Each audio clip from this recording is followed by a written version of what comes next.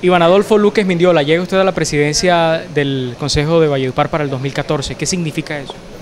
Bueno, es un gran logro, un peldaño más en nuestra carrera política. Lo asumimos con la humildad que siempre nos ha caracterizado, pero consciente de la responsabilidad que implica asumir este cargo, porque vamos a representar a una corporación digna, una corporación con mucha altura en materia política en el municipio y vamos a mantener esas dos premisas, esos dos postulados que siempre hemos venido presentándole a la ciudadanía vallenata. Por un lado, acompañar, respaldar a la administración municipal en esas iniciativas que busquen beneficiar a la ciudadanía vallenata, que busquen mejorar la calidad de vida y satisfacer sus necesidades básicas. Y por otro lado, mantener la autonomía, la independencia a través de un ejercicio de control político objetivo, imparcial, propositivo, crítico, pero que construya, que invite a la administración municipal a identificar sus falencias, a corregirlas, a enmendar el error y todo esto sea en beneficio del pueblo vallenato, que en última sea el gran ganador. ¿Y qué se traduce que primero dijera que no y después que sí? No, no, yo siempre mantuve mi, mi aspiración, lo que pasa es que hicimos una campaña muy prudente,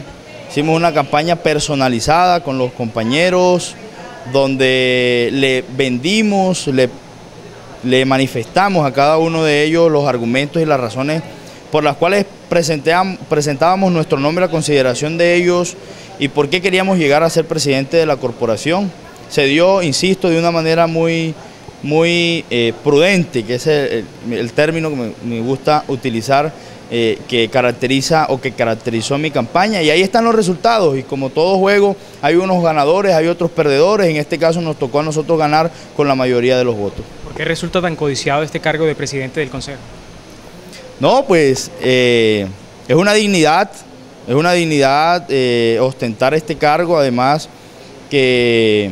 es la figura representativa de la corporación, es el reflejo de, los sectores políticos que están eh, representados allí en el, en, el, en el Consejo Municipal y eso lo que permite es eh, demostrar el liderazgo, demostrar esa, esa capacidad eh, política, intelectual, de trabajo que tenemos los concejales de Valledupar. En este caso me correspondió a mí que guardaba este deseo en mi corazón desde que inicié el, periodo como concejal y afortunadamente se nos dieron las cosas. Entra a quedar en, evidencia total que hay una división entre el Consejo, ¿no? Entre quienes votaron por usted y quienes prefirieron a Cabello Donado. No, no, yo no creo que haya división, es como en toda democracia, yo insisto, hay unos ganadores, hay unos perdedores, hay unas personas que se identifican con unas causas, hay otras personas que se identifican con otras causas. La mayoría de, los concejales se identificó con mi causa, con mi apuesta política, y otros concejales se identificaron con el concejal Luis Cabello, a quien le profeso un profundo respeto y admiración por sus calidades personales y profesionales, y, al que eh, el día de la, de la votación y de mi elección como presidente, lo invité, así como a los demás compañeros, a que hagamos una sola fuerza, a que trabajemos en armonía, que trabajemos en unidad por el bien de la corporación, pero sobre todo por el bien de la ciudadanía, que en última es la que tiene que resultar beneficiada en este, en este ejercicio político. Pero Cabello se siente traicionado. Pues yo no, no veo por qué el, el concejal Cabello habla de traición, pues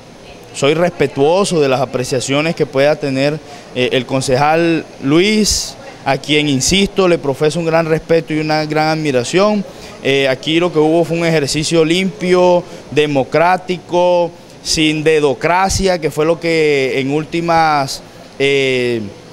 se evitó, donde cada aspirante de una manera